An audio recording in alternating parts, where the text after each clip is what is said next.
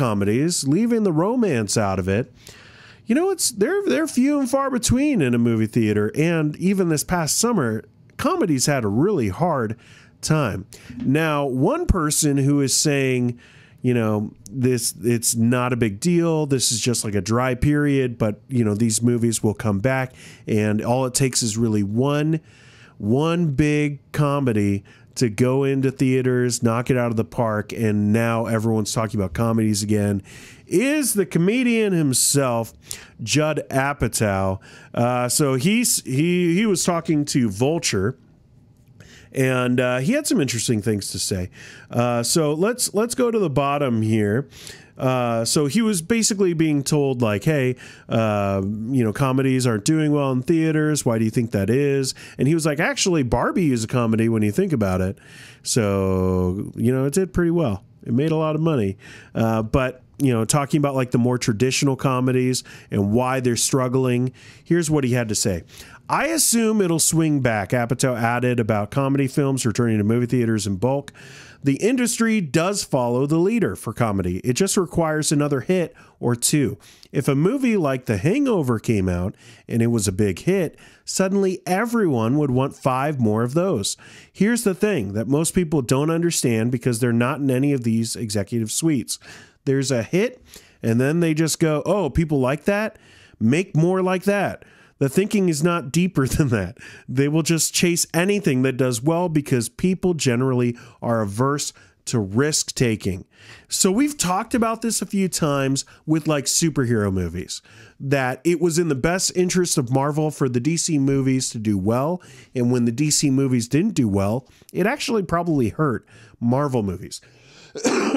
now they had a lot going on and you know some decisions that were made and storylines that were chosen to go after that might have had an effect on how well they've been doing at the box office lately. But also the fact that you know the competition wasn't doing too well either. Just kind of soured people on superhero movies or at least certain types. Now what judd apatow is saying is a similar thing. It's like hey you know like some of these comedies have been great and so people haven't been going to the movie theater and watching him, but all it takes is one or two hits.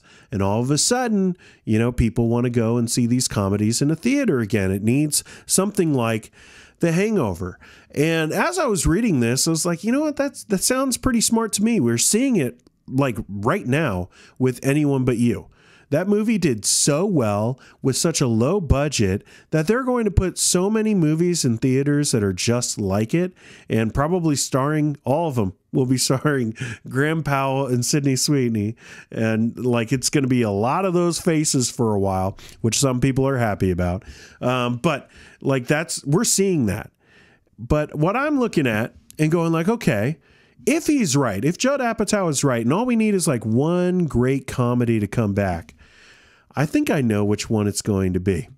And that is coming from Dan Patrick, amongst other sources. Um, the the actor uh, who played Shooter McGavin in Happy Gilmore actually was the person who got this thing going. But Dan Patrick talked about it yesterday on his show. They're making a Happy Gilmore two.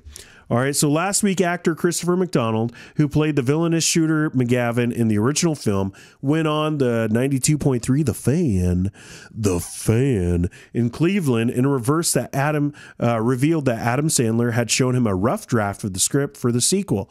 Legendary sportscaster, it's got to feel good when people put that kind of phrasing on your stuff. Legendary sportscaster Dan Patrick, who's become a fixture in Adam Sandler's films and has appeared in more than 10 of them, followed up on the scoop on, on his uh, epon- eponymous show on Monday. What? Eponymous? Are you serious? They decided to use that. Uh, a few days later, so this was him reading uh, some some text messages between uh, himself, Dan Patrick, and Adam Sandler. A few days, but I'll let you know when there's a script. Still figuring a lot out. Sandler responded to uh, Patrick, and so Patrick answered that he was just kidding. To which Sandler responded, "You're in it, bro. You play you." So if if Judd Apatow is right, and all it takes is one comedy to get things rolling once again and getting people excited about going to the movie theater and watching a comedy, I don't know if you could do any better than Adam Sandler. This will be the test. This will be the test. So, probably come out in like two years. I'm assuming uh, comedies can go into production much faster uh, than pretty much any other movie, usually because they don't have quite as many explosions. And I'm assuming, you know, with Happy Gilmore, like, uh, I don't know how many explosions you're going to get in Happy Gilmore. So it looks like a pretty straightforward shoot. And as long as they have a good script and they're ready to go, it should be pretty quick. So we might be seeing this movie come into theaters in like two years. So for me, looking at Judd Apatow and being like, hey, if it's one hit, and like I said, I don't think he could do better. I don't think there's something out there with as much name recognition as you know Adam Sandler as Happy Gilmore. It's one of his best hits. Like I think that this is the movie to test the theory. Is comedy dead at the movie theater? I think that the one movie that could possibly save it and get things back on track and correct what I think is pretty clear that they just haven't been doing well, you know, and part of that again is like not funny movies like that dog movie where it's just like dogs cussing with Will Ferrell. Like, what are really like that's that's the best that we can do right now? Well, let's bring in a tried. Uh, you know, commodity, something that has been tested and has been proven to be a comedic success, like Adam Sandler, like Happy Gilmore. And let's bring it in and let's see if people will support a good comedy at the movie theater. Now, the movie could come out and can be a complete crap fest, and uh, you know it could be more like Grown Ups Two than uh, uh, the original Happy Gilmore, and then we'll we'll never know because you got to still be good, even if it's like a you know like a name that that people know. It's still got to be a good movie for it to be a success at the box office. But I think this is the movie that's going to prove the theory. Hey, thanks for watching the whole video. If you like this, you might like these videos right over here, and make sure to subscribe so you don't miss the next one. See ya!